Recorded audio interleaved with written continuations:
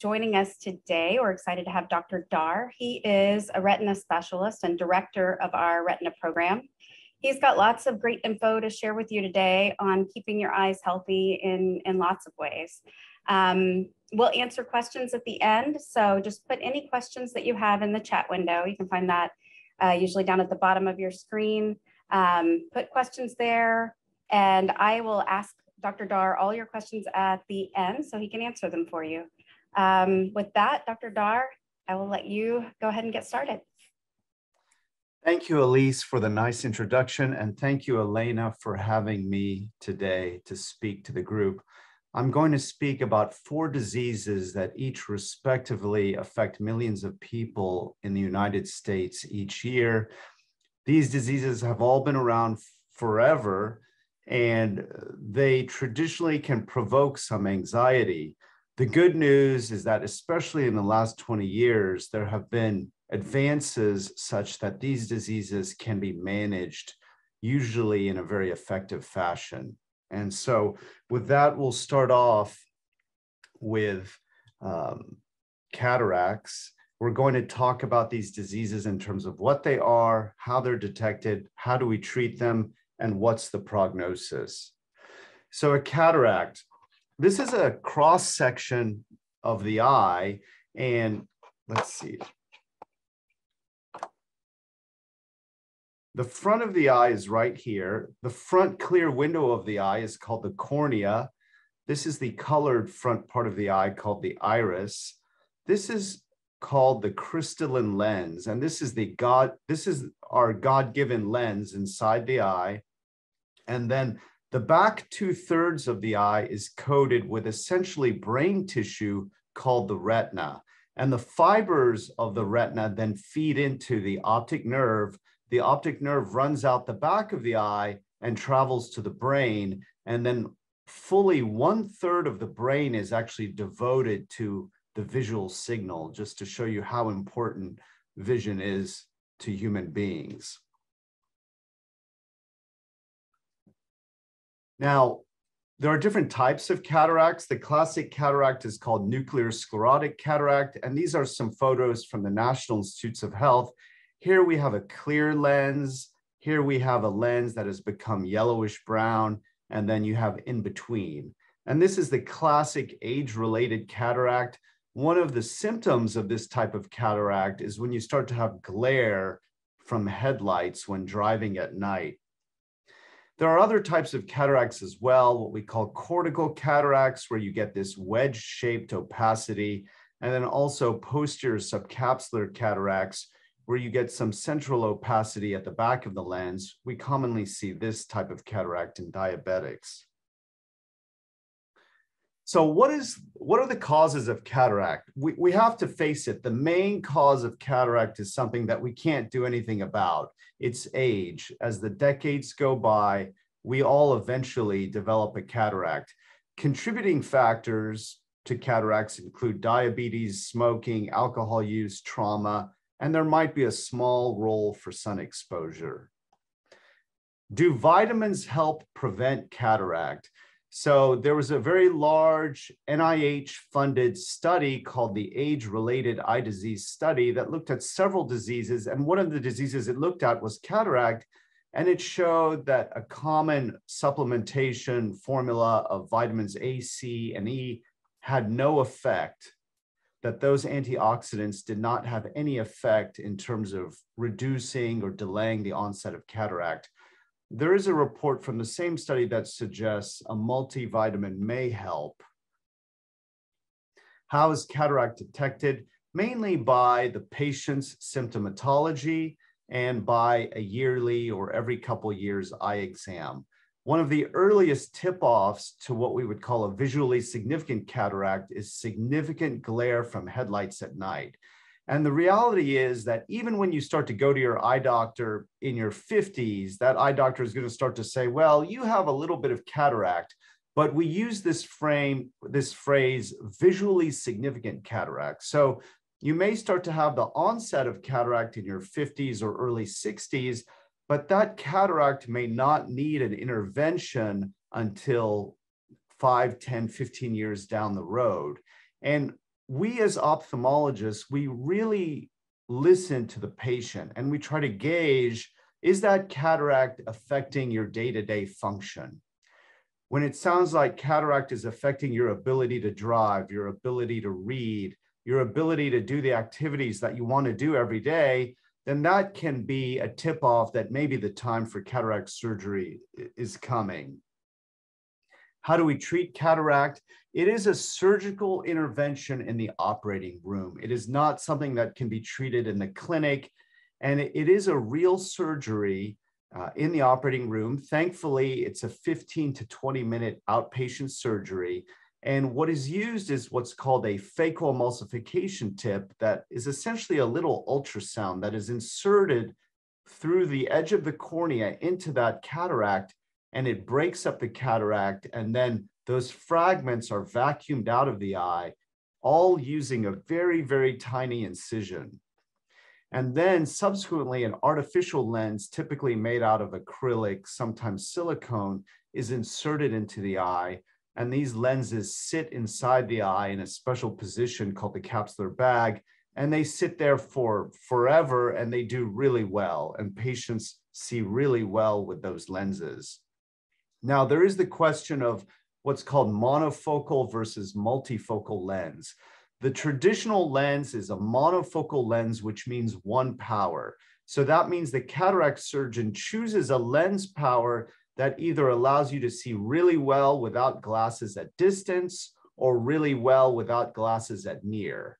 And then for the opposite, you'll need glasses. So if you pick if the surgeon picks your lens inside your eye for distance, that means you'll need reading glasses. If he picks your lens for near, then that means you'll need glasses to see well at distance. Now, in the last 15 years, the companies have developed what are called multifocal lenses, which have some advantages and disadvantages. Those lenses give you some ability to lead a relatively glasses free life and have decent vision at distance and decent vision at near, but they can have some trade offs. You can lose a little bit of contrast, and you can also sometimes have some halos at night in particular. And so they are not perfect, but some people do choose to do them, and they can they can work well. In terms of success rates and complications with regards to cataract surgery, any surgery on the body can produce bleeding, infection, and those risks are overall very low with cataract surgery, less than 1%. The other risks shown here are also basically less than 1% retinal detachment and lens dislocation. About 15 to 20% of people will develop over the subsequent few years after cataract surgery what is known as secondary cataract or capsule capsulopacification, where a little bit of scar tissue develops on the back side of that artificial lens. And the good news is that that can be removed in the office with a five minute laser procedure. So that's something that is fairly easy to take care of when it develops later. So with that, we'll move on to glaucoma. So what is glaucoma? The first thing to keep in mind is that the eye has its own plumbing system the eye makes fluid internally, and then that fluid drains, circulates through the eye, and then drains out of the eye. And the fluid making portion of the eye is here, or essentially here, and it's called the ciliary body. And then the fluid goes in this direction and goes through the pupil and then exits the eye in the area called the anterior chamber angle. And so there is a plumbing system and glaucoma is when something is uh, off about the plumbing system, and typically the pressure in the eye can be elevated above normal. And glaucoma is usually a silent disease, or what we call open angle glaucoma is a silent disease where the pressure may be elevated above normal and you don't really detect it as a patient. And what glaucoma does is that elevated pressure slowly over time does damage to the optic nerve. So the optic nerve begins in the back of the eye and then it runs out the back of the eye towards the brain. But the beginning of the optic nerve is called the optic nerve head, and it is susceptible to chronically increased pressure. Over the course of several years, if the pressure is elevated, it can cause what we call cupping of the optic nerve. So here you can see there's a nice pink rim to the optic nerve, and there's a small white cup at the center. Here you can see that the rim has sort of melted away and there's a large white cup at the center.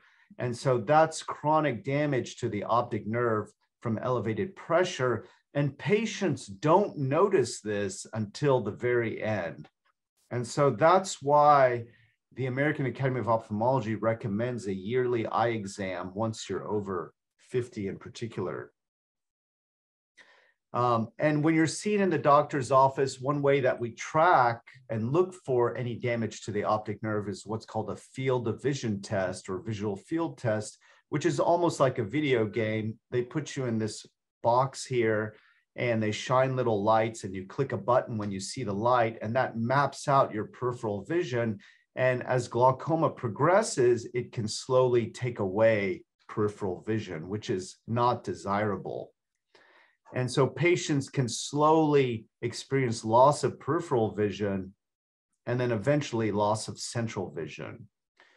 Who is at risk for glaucoma? The main risk factor for glaucoma is age. And then you can see some other risk factors here. A major risk factor is family history. So if glaucoma runs in the family, it's important to bring that to the attention of your eye care, of your eye doctor. How do we treat glaucoma? Typically, the first treatment for glaucoma is drops that are prescribed by the eye doctor. These lower the pressure and help prevent additional damage to the optic nerve. There are also various types of surgeries. This is a depiction of a surgery called a trabeculectomy. This is a depiction of a surgery called a tube shunt. And there are also there's also a new generation of surgeries uh, called MIGS or minim, minimally invasive glaucoma surgery. But the theme to all of these surgeries is that they essentially create an accessory pathway for fluid to exit the eye and hence lower the pressure. And really, the most important thing with glaucoma is regular checkups because glaucoma caught late with significant optic nerve damage is much harder to manage than glaucoma caught early. And really, in, in an advanced country like the US, no one should really go blind from glaucoma, but people do when it's caught late. And so that underscores the importance of regular eye exams. Macular degeneration. This is one of my specialties, and I spend a lot of time taking care of this disease. First of all, what is the macula? So we've talked about how the retina is the brain tissue that coats the back two thirds of the eye. The macula is the very center of the retina located right here. And so it's right at the center of the visual axis. And this is a, a shot of the macula itself. Here's the optic nerve. And this dark area right here is the very center of the macula. And from here to here is about one millimeter. And I like to tell patients that in many ways, this is the most important one millimeter in the body because this one millimeter is where you get all of your sharp central vision that allows you to read and allows you to watch TV and allows you to drive and do a lot of the activities that you love to do.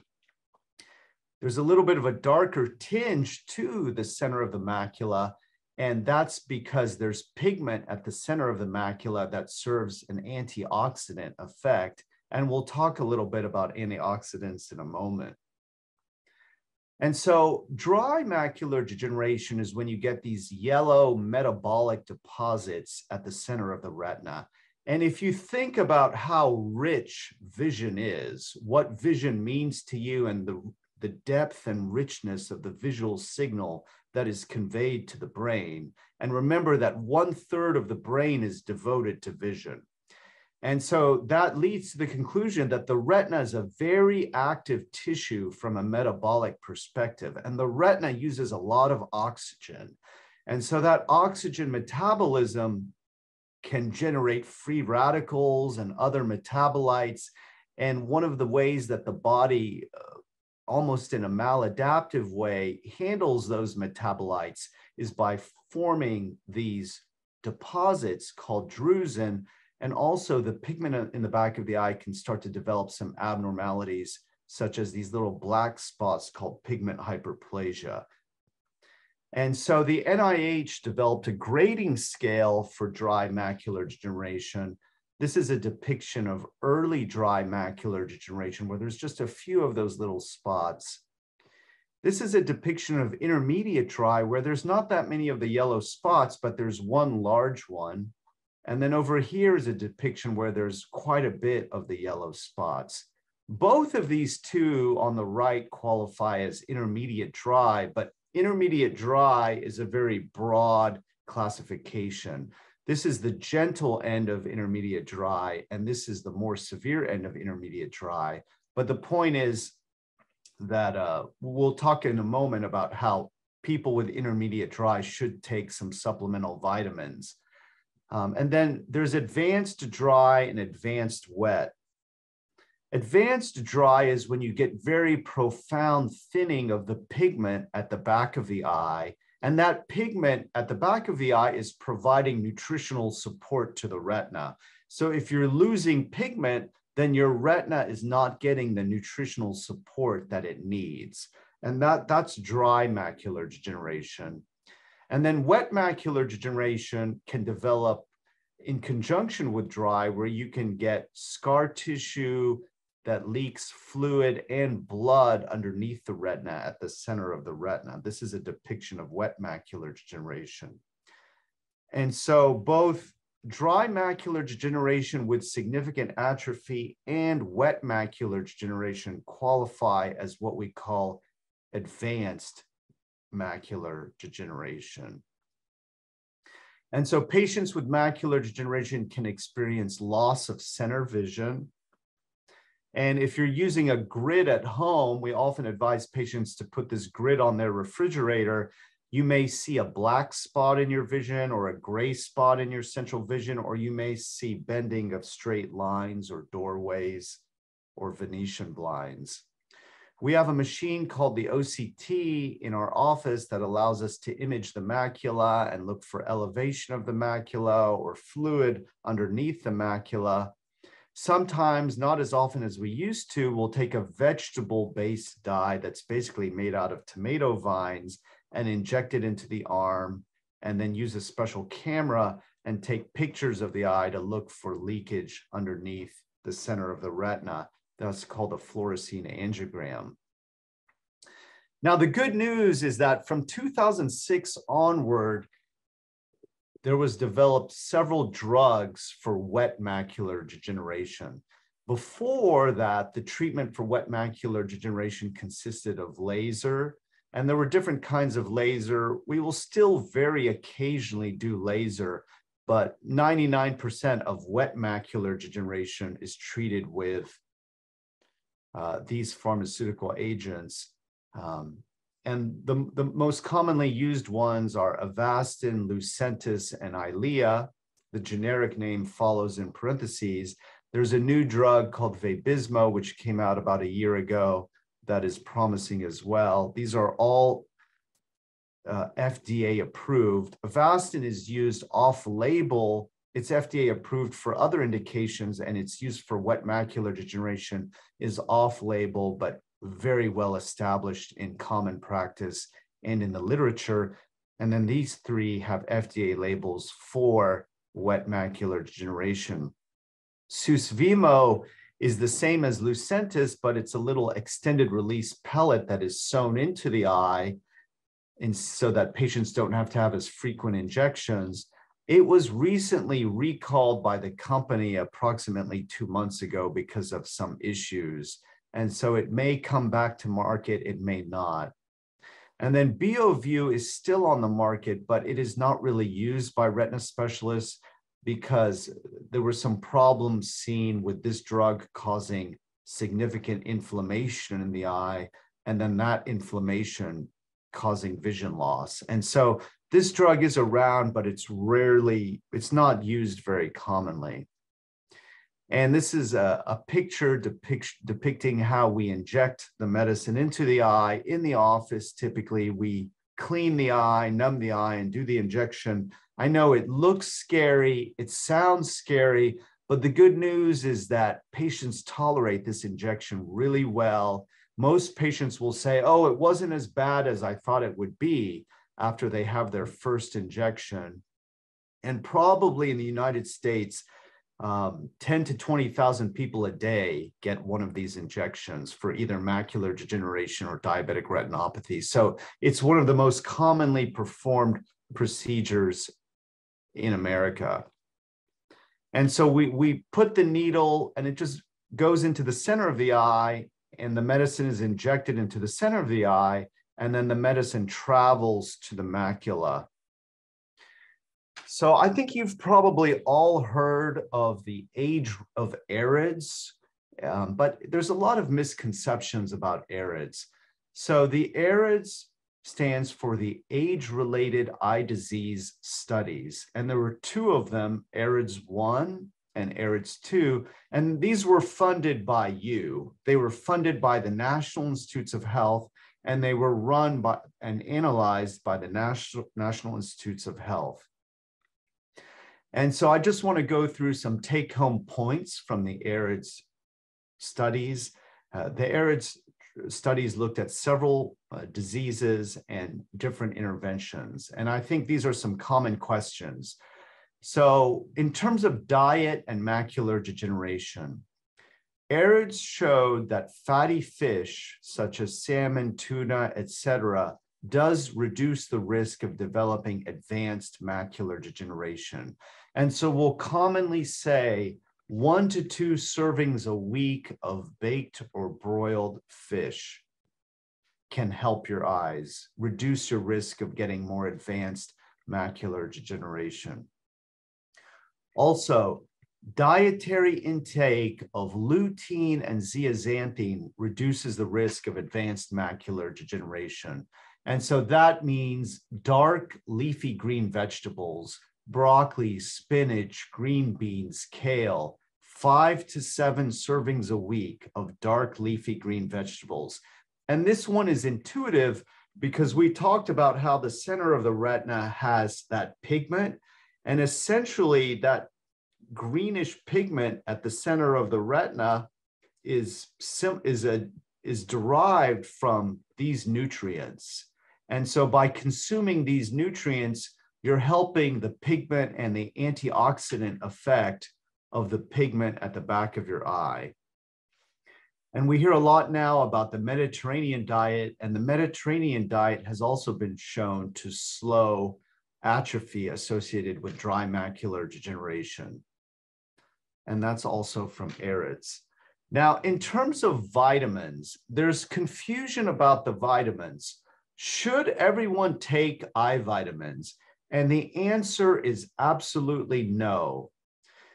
And the AREDS study looked at this. And so the AREDS study showed that people who have no signs of dry macular degeneration, even if you if it runs in the family, even if you're 65 years old, if on your eye exam you have no precursors, no significant drusen, no significant changes in the pigment, you have no benefit from taking the vitamins. And the vitamins are expensive. They cost $30, $40 a month. They can sometimes upset your stomach.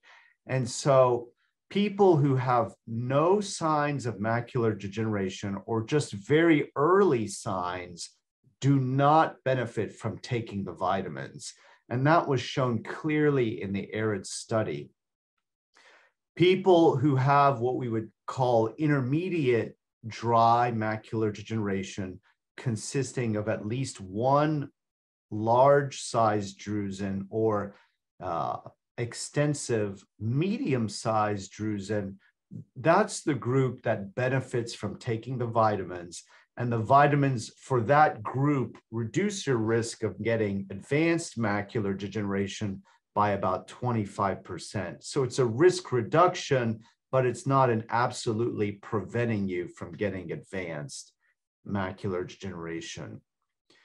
Um, other findings from the AREDS, the first AREDS formulation um, had beta carotene. In the second AREDS formulation, they took out the beta carotene and they put in lutein and zeaxanthine. And recent AREDS 2 reports basically show that everybody should take the AREDS 2. Everybody who has intermediate dry macular degeneration and should be taking eye vitamins, they should take AREDS 2. Nobody really needs to take the older formulation, which is AREDS 1. And especially if you were a smoker, you do not want to take AREDS 1 because the beta carotene in AREDS 1 increases your risk of lung cancer. And so, if you are told by your eye doctor that you have intermediate dry macular degeneration, take the AREDS 2 formula. People will ask, should I take omega 3 fatty acids instead of eating fish? And what is interesting is that the AREDS 2 study showed no benefit to taking omega 3 fatty acids. So there's a little bit of a mystery in the sense that, yes, there is benefit to eating one to two servings a week of baked or broiled fish, but you don't get that same benefit by taking omega 3 fatty acid supplements. We don't know exactly why there's that disparity, but the bottom line is you don't have to take omega 3 fatty acids for your eyes. They omega 3 fatty acids chew up your stomach anyway, so you don't need to take them for your eyes, but do try to eat the baked or broiled fish one to two servings a week. And again, this is just a recap of the formulations for the AREDS 1 and the AREDS 2. Again, in the AREDS 2 formula, which is the more modern formula, they took out the beta carotene and they substituted lutein and zeaxanthine. And so again, not everybody has to take eye vitamins, but if you are told by your eye doctor after an exam that yes, you have intermediate dry macular degeneration and should be taking eye vitamins, take the AREDS 2 formula. And then this is a common question. People often ask, does cataract surgery accelerate my macular degeneration? And this was shown really very definitively in this 5,000 patient study that cataract surgery does not increase your risk of macular degeneration and it does not accelerate any pre-existing macular degeneration. And so the last disease we'll talk about is diabetic retinopathy. And this is sort of a schematic of how diabetic retinopathy can affect the vision. Here we see some fundus photos where you can see hemorrhages that are the hallmark of diabetic retinopathy. Uh, at a microscopic level, what diabetic retinopathy does is it affects capillaries or tiny microscopic blood vessels in the tissues, whether it be your brain, your retina, your peripheral nerves, your kidneys. It can cause uh, disease of the capillaries. And on an angiogram, we see these little microaneurysms that are these abnormal uh, capillaries that have been affected by diabetes over time. Patients can often get cholesterol or what we call lipid leaking into the retina from these diseased blood vessels in the retina. And this is why, as a, as a diabetic, and especially a diabetic who has diabetic retinopathy, it's not enough just to say, oh, I'm taking care of my sugar. You also want to take care of your cholesterol because simply taking good care of your cholesterol, whether it be by diet or taking special medicine, can help prevent or reduce leakage of cholesterol into the retina. Sometimes we'll do an angiogram to image these areas of leakage. This is an example here of an angiogram showing profound leakage at the center of the retina, and we call this diabetic macular edema or swelling of the center of the retina from diabetes. And here's a cross-sectional depiction with our OCT of retinal swelling. So usually the retina would be about this thick and here it's double the normal thickness. This is a depiction of scar tissue that has developed along with bleeding in someone with advanced proliferative diabetic retinopathy. This is one of the more advanced stages of diabetic retinopathy when the sugar has really been out of control for a prolonged period of time. And this scar tissue can contract and cause retinal detachment. And so I would urge you when you go to see your eye doctor and you're diabetic, ask him, Do I have retinopathy? If he says no, great. If he says yes, ask him, What is my retinopathy grade? We have a grading scale of what's called mild non proliferative, moderate non proliferative, severe non proliferative, and then proliferative. And so ask him, what's your grade? If, if you're a mild, you're doing pretty good.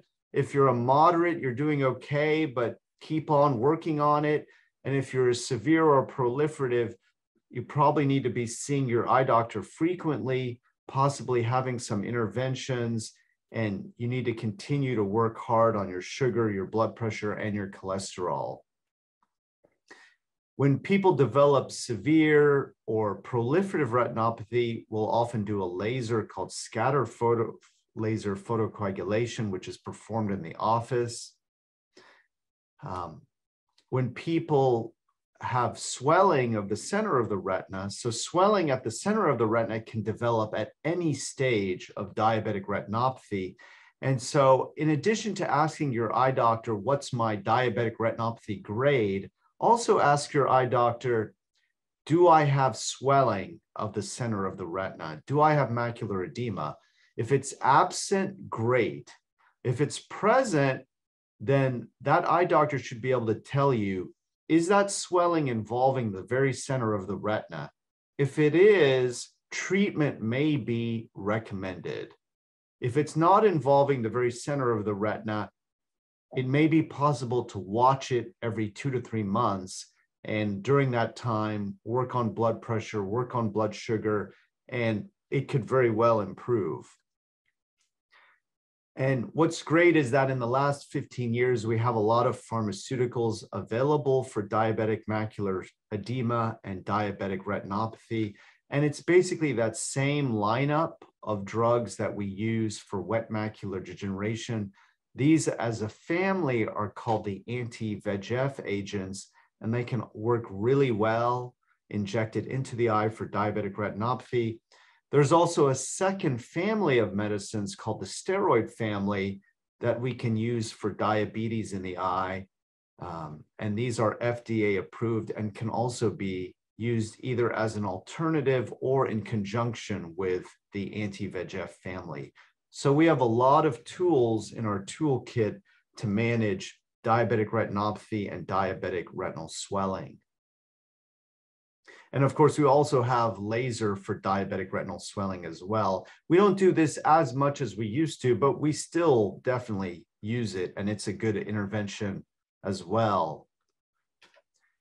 Um, this is really important to talk about. What, what can you do to improve your diabetic retinopathy, to reduce your risk of diabetic swelling, uh, to prevent worsening of diabetic swelling? There's always a focus on blood sugar. And I find that even primary care doctors focus on blood sugar, but there are a lot of other factors that affect diabetic retinal swelling. And you really want to address all the factors. So, high blood pressure, even when blood sugar control is good, if blood pressure control is not good, that can contribute to retinal swelling. Sleep apnea, which is often undiagnosed, can contribute to diabetic retinopathy. Why? If you think about it, diabetic retinopathy is affecting those blood vessels in the retina. So those blood vessels are not carrying oxygen as well to the retina. Well, when you have sleep apnea, your oxygen levels go down at night. So that adds an additional stress to the retina in terms of not getting enough oxygen. So if you've been told you need to use a CPAP machine, use that CPAP and it can help improve your diabetic control and your diabetic complications, such as diabetic retinopathy. Anemia, diabetics are often anemic, and if the anemia reaches a level of a hemoglobin less than 11, that can often exacerbate diabetic issues in the retina. Kidney failure can exacerbate retinopathy. In particular, when there's kidney failure and the body is holding on to excess fluid. And I find that a lot of uh, eye doctors don't always hone in on this, and a lot of primary care doctors don't always hone in on this. If you're a patient who's getting injections for diabetic retinal swelling, and you're getting told, oh, your swelling is not improving, we're sort of stuck, look at your ankles and ask your doctor to look at your ankles. If the ankles are swollen and it looks like you're holding on to 10, 20 pounds of excess fluid in your legs, that's a sign that the body is holding on to too much fluid. And that, what we call increased extracellular fluid, can contribute to difficulty in managing diabetic retinal swelling.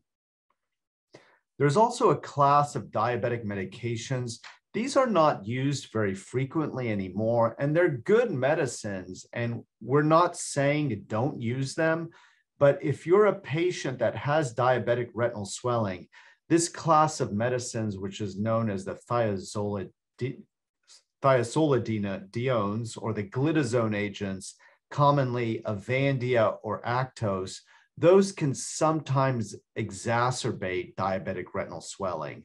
So if you're on one of those medicines and you don't have diabetic retinal swelling, you're fine. You can, you can stay on that medicine.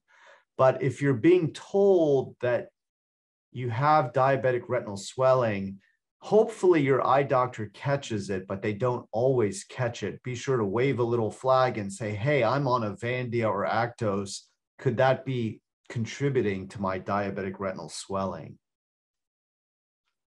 And then in patients with more advanced features of diabetic retinopathy, such as bleeding in the center of the eye or retinal detachment from diabetes, we will often do a surgery in the operating room that's typically a one to two hour outpatient surgery where we go inside the eye with tiny little instruments and we remove the jelly and we remove the blood and remove scar tissue.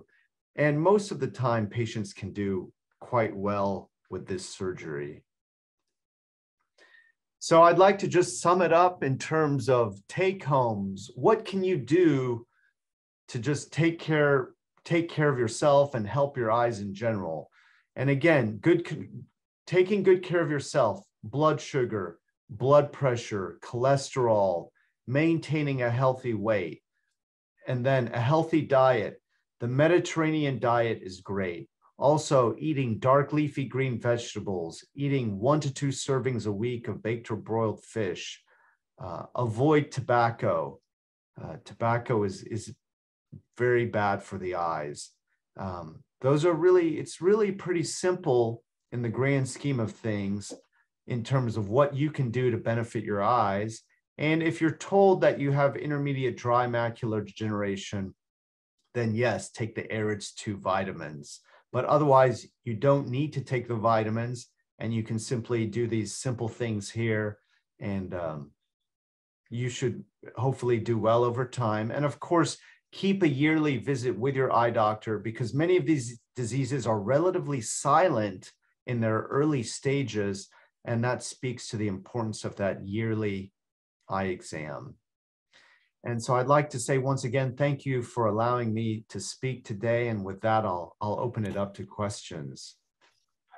Thank you, Dr. Dahr. I feel like I learned a ton just now. Um, we have several questions, um, lots on macular degeneration. I am going to start though.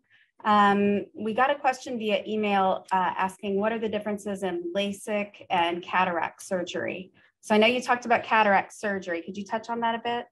Yeah, so what I'll do is I'll go back to one of the little schematics here from the, let's see.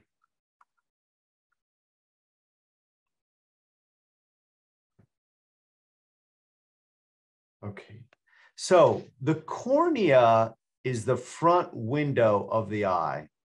And then the lens is located right here at the junction of the front one third and the back two thirds of the eye. Both of these structures actually provide focusing power to the eye. The eye is ultimately an organ that generates a focused image on the retina, and then the image that the retina captures that image and sends it to the brain for processing. But the front of the eye is providing focusing power. Both the cornea provides focusing power and the lens provides focusing power. With cataract surgery, they go into the eye, the cataract surgeon, and he removes this structure and then he puts an artificial lens to take its place. And he removes this structure when it becomes yellow or cloudy with age and is no longer doing the job that it needs to do. LASIK is often performed at almost any age over age 20, and that's typically performed on a healthy eye where someone wants to have less glasses dependence. So it'll be someone who needs glasses to see far away. We call that myopia. And they'll typically use a laser to remove a very minimal amount of tissue from the cornea. The cornea is typically about 550 microns or half a millimeter thick.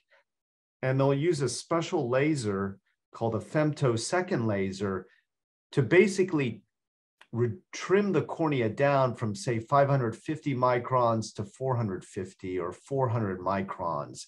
And by very minimally reducing the thickness of the cornea, they alter the focusing power of the cornea.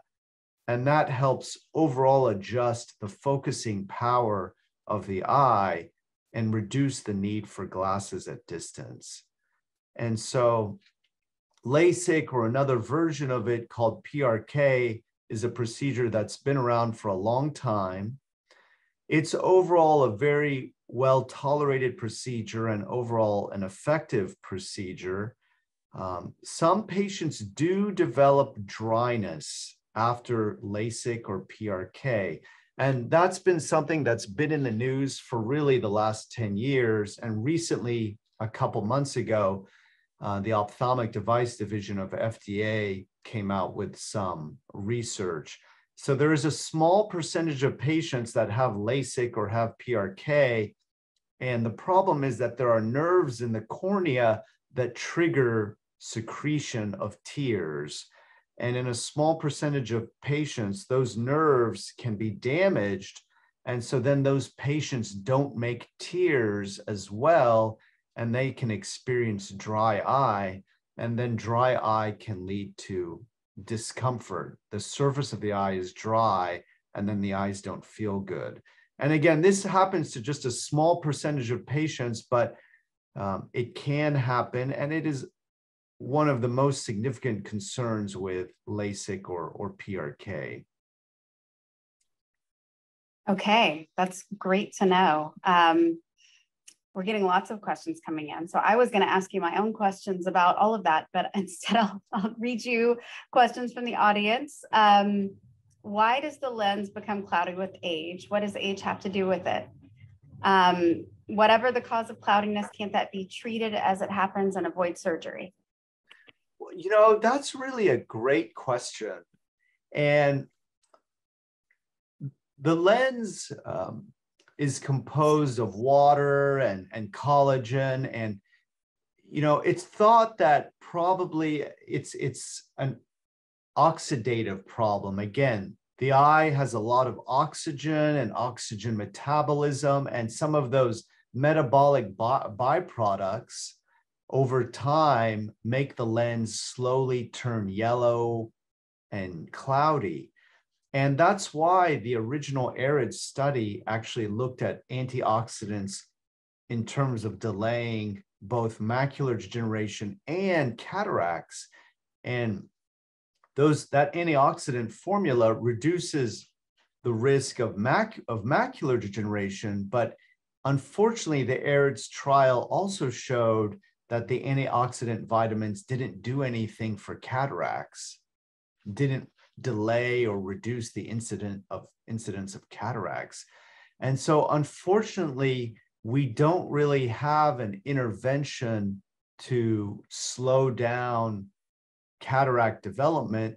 You know, we say avoid tobacco, try to avoid excess UV light, but it's a great question.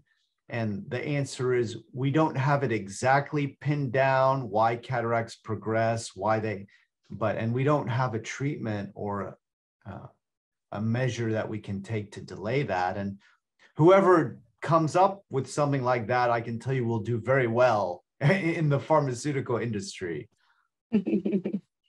Definitely. Um, okay, here's another one on cataracts, and then we'll move to macular degeneration. Um, if you have cataract surgery, do you automatically get improved vision as if you had LASIK? Well, typically we wait on cataract surgery until the vision goes down a mild to moderate amount because we don't really want to do cataract surgery prematurely because patients won't notice much improvement. So typically cataract surgeons will wait until the vision trends downward until the and until the patient says, "Hey, I'm noticing I have a lot of glare from headlights at night. I'm noticing I'm struggling with street signs. I'm noticing that I'm struggling with the little strip of text on the TV when I'm watching TV. And typically, after cataract surgery, patients will then notice an improvement in vision. Uh, but premature cataract surgery won't improve the vision. So th- there's a little bit of a balancing act between waiting until the vision drops, but you know, not waiting so long that the patient has needlessly suffered a period of, of poor vision. Sure. Okay. Um, macular degeneration. So these two are kind of similar. I'm going to read them both and then let me know your thoughts. Um, so one question is, how long is the estimated time for dry to wet macular degeneration? And the other is please compare dry versus wet macular degeneration in causes, uh, also patient symptoms, treatment, implications, any relationship between the two. So one is asking about progression, I think, and one is comparison. Okay, so let's first talk about, uh, let's do the second question first. Um, so dry versus wet.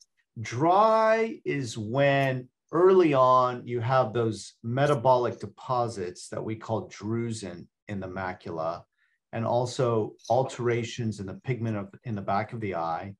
And then more advanced dry macular degeneration is when you develop that frank atrophy or thinning of the retina and of the supportive tissues underneath the retina. And dry macular degeneration is very variable. Some people may develop a, some drusen in their 60s or 70s, and then over the next 20 years, develop a few more drusen, and that's it. Other people may develop drusen, and then five or six years later, start to develop a small area of atrophy, and then five or six years later start to develop a larger area of atrophy. And so both the manifestations and the time course are variable. But even when there is progression of dry macular degeneration over time, it's typically over a 10 to 20 year time period. Um, in terms of wet macular degeneration and its progression, well, well, let's first talk about going from dry to wet. One concept is that going from dry to wet, most patients with dry do not get wet. So probably over a lifetime, only five to 15% of patients who have dry actually develop wet. So most patients with dry never develop wet. But when wet does start to develop, it can progress rapidly. And patients symptomatically can notice fairly sudden onset of wavy vision or grayed out or blacked out central vision. And so, wet, when it develops, can progress rapidly. And that's why it's important to monitor that Amsler grid. And if you start to see changes in the Amsler grid, don't sit on it. Go get seen by the eye doctor, have that scan in their office, because if wet is starting to develop, it's really best to start those injections quickly. Patients do better if the injections are started at the very beginning of the development of wet versus if the wet has been going for three, four, five months, then there's going to be more scarring and less uh, visual recovery. And so be vigilant with the Amsler grid because wet can develop quickly and it's best caught early. Um, in, in, in terms of, uh, and we've talked about, in terms of time to wet, going from dry to wet, again, most patients with dry don't develop wet but you know it can once you're intermediate dry you could theoretically develop wet at any time or you may develop never. And so it's hard to give any definitive guidelines as to timing. Uh, but the important thing is to stay vigilant with the amsler grid and to keep up those yearly eye exams as well. And if you're diagnosed with intermediate dry you'll probably be seeing a retina doctor every six to 12 months to have a scan, have an exam, and just keep keep a watch on things. Okay, great. And then mm-hmm. family history. Does the family history of macular degeneration increase your chances of getting it?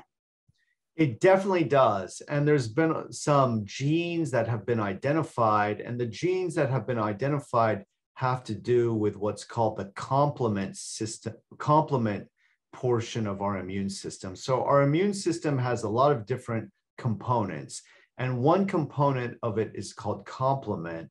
And it's thought that genetic defects in the complement component of the immune system cause the immune system to go a little bit haywire in the macula and not quite process these metabolic byproducts correctly. And that's why you can get the buildup of drusen and pigment alterations in the back of the eye, etc.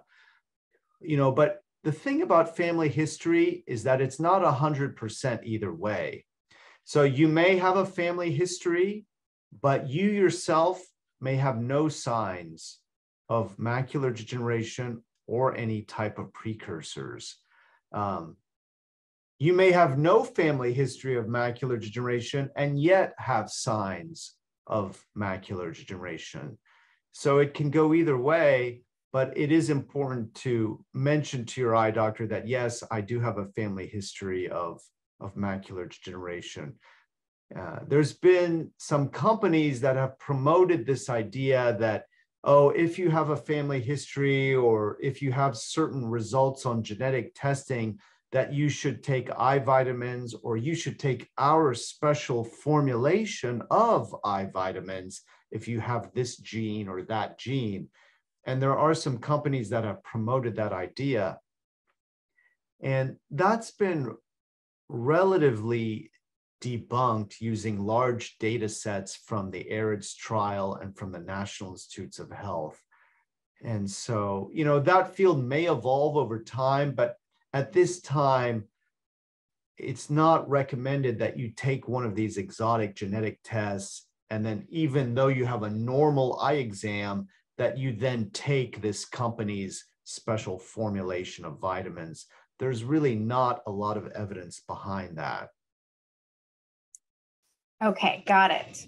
Um, let me go back to cataracts real quick. So the, the question about vision improving after cataract surgery. Um, so will I still have to wear my glasses after cataract surgery? So what typically happens is the cataract surgeon will ask you, do you want to see well without glasses at distance or do you want to see well without glasses at near? And then he'll pick the power of the lens that goes inside your eye for one of those two situations, depending on your preference. And then you'll need glasses for the other situation. So if you pick the lens that goes inside your eye for distance, you won't need glasses much for distance, but you will need glasses for near. And then vice versa, if you pick the lens inside the eye for near, you'll need glasses for distance. Now, there are a couple variations. Sometimes what they can do is for one eye, they can put the lens inside the eye for distance. And then for the other eye, they can put the lens inside the eye for near. And that's called monovision. And then your brain has to learn how to essentially switch back and forth, depending if you're looking at something far away or if you're looking at something close up.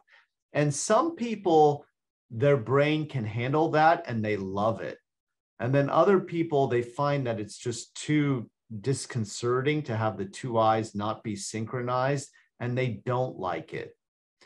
And some people have monovision in their glasses or in their contact lenses. And so they're already used to it and they're used to the idea of it. And then when they have their cataract surgery, surgery they can have that same thing done with the lenses that go inside their eye. Uh, other times, the cataract surgeon might say, well, try monovision and contact lenses for a little bit and see if you like it. And then if you like it, then we can do it at the time of your cataract surgery. Uh, and then, of course, the other option with regards to cataract surgery is to get one of the so-called multifocal lenses. And those are lenses that have a segment of the lens for distance and a segment of the lens for up close.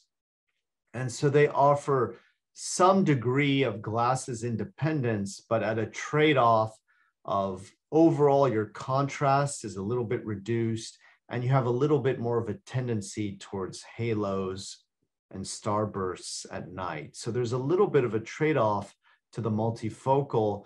And typically your cataract surgeon will make you watch a video that talks about these trade-offs and they'll sort of make you sign a permission slip that says, I want to do a multifocal. I understand that there are trade-offs to a multifocal and I'm willing to accept those trade-offs. Okay. And I know we are close to time. We still have questions. Elena, are you okay if we go a couple more minutes? I absolutely am. I think we have to go another session. I think we might, yes. Go right Um, ahead though. Okay. Uh, Dr. Dahr, you said you still have a little bit of time. Yes. Okay, perfect. Um, let's see, floaters. Um, there was a question about floaters in here. Um, uh, what are they and how serious are they? Yeah, so that's a great question, and that's a big part of what I do. So the eyes has a, a collagen gel inside it called vitreous. And when we're young, I'll, I'll go to my diagram here. The vitreous is evenly distributed from the back of the lens all the way to the macula.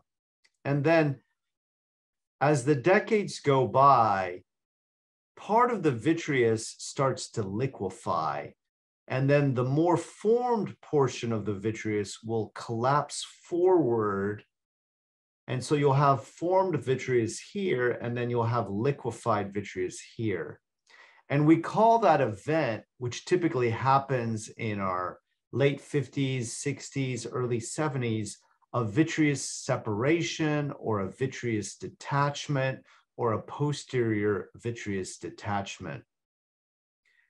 And when it happens, it can sometimes rip a tear in the retina. And that tear in the retina needs attention or else it can turn into a retinal detachment. Now, we can have floaters all through life. Um, and so, how do you distinguish what we would call a strandy vitreous versus this event that happens later on in life called a vitreous separation?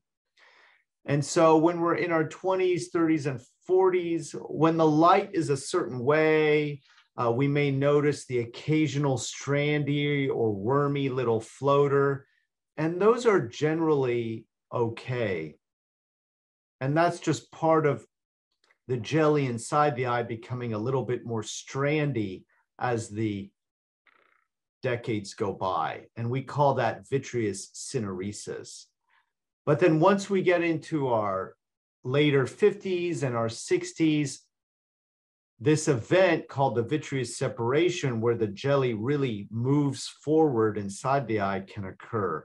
And what are the tip offs to that?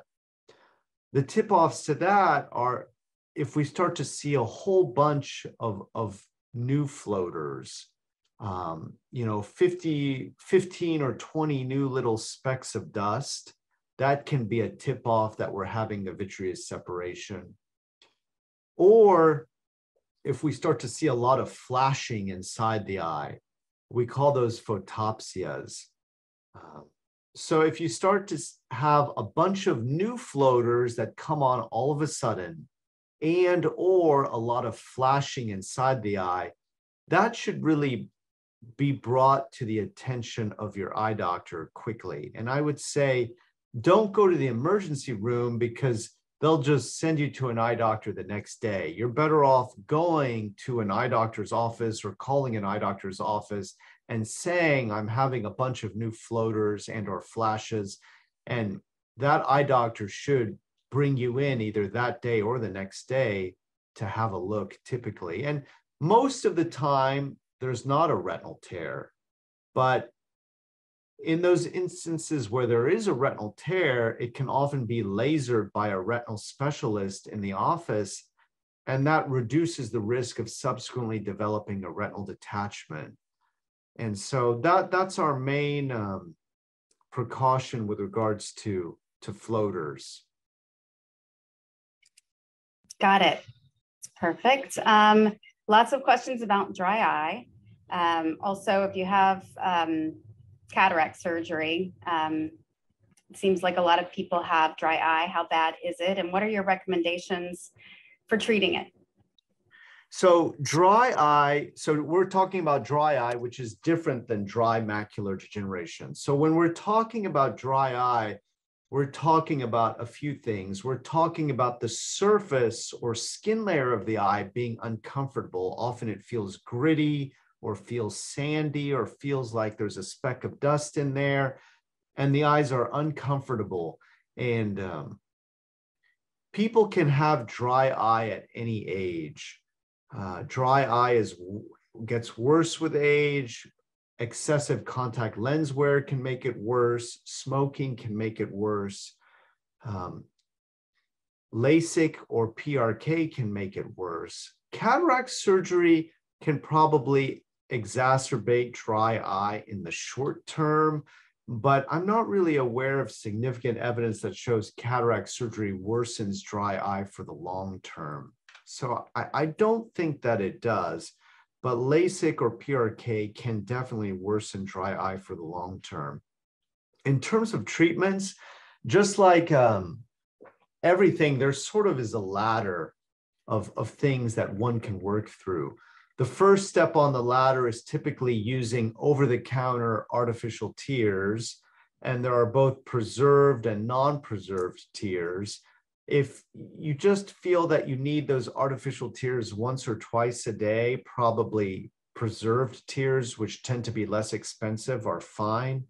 If you're feeling that you have to use the artificial tears four to five times a day, you're probably better off using non preserved tears, which come in little twist off um, containers. Uh, and then another good thing that's Dry eye is often linked to inflammation in the eyelid glands. And so we often advise patients to use warm compresses um, a couple times a day for one to two weeks. And that will often help those eyelid glands flow better.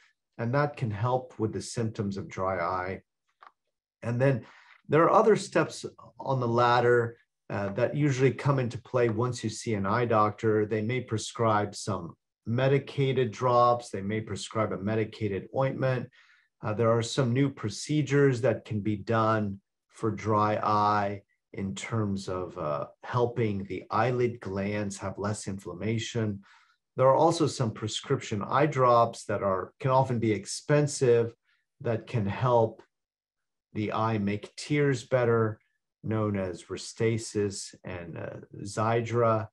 Um, and so there are both uh, procedural interventions, minor procedural interventions, uh, and pharmaceutical interventions that can be used and, and be prescribed. But typically, the first step on the ladder is try those warm compresses and try some artificial tears and, and see how things go. And after that, talk to your eye doctor.